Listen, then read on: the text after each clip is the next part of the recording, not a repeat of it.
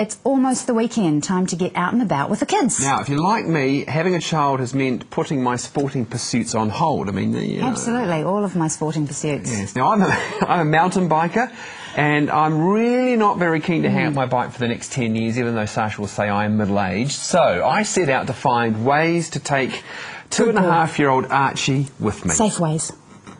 I hope. The benefits of exercise are well known, especially outdoors. The fresh air, the sunshine, and the myriads of excuses for not exercising are familiar to all of us. No time, no equipment, children. But wait, we can help you with the last one. Cycling is a great way to get exercise and there's no need to let the kids stop you from doing it.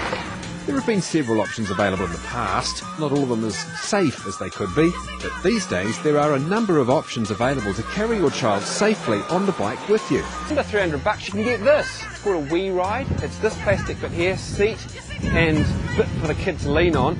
The whole thing fits securely above the bar, connected to this powder coated strap that can stay on your bike, attached between the neck and the seat pole. Attaching the seat is very simple. One sturdy bolt, finger tight, and done.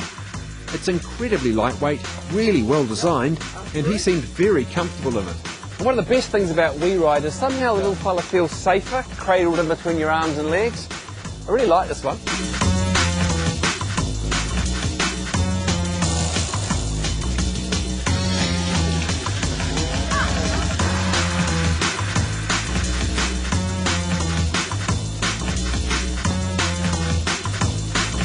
Cameraman on this story was Matt Hunt. Hello, Matt.